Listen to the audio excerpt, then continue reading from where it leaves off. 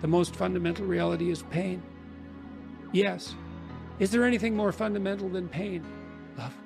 Really? If you're in pain, love and truth, that's what you got. And you know, if they're more powerful than pain, maybe they're the most real things.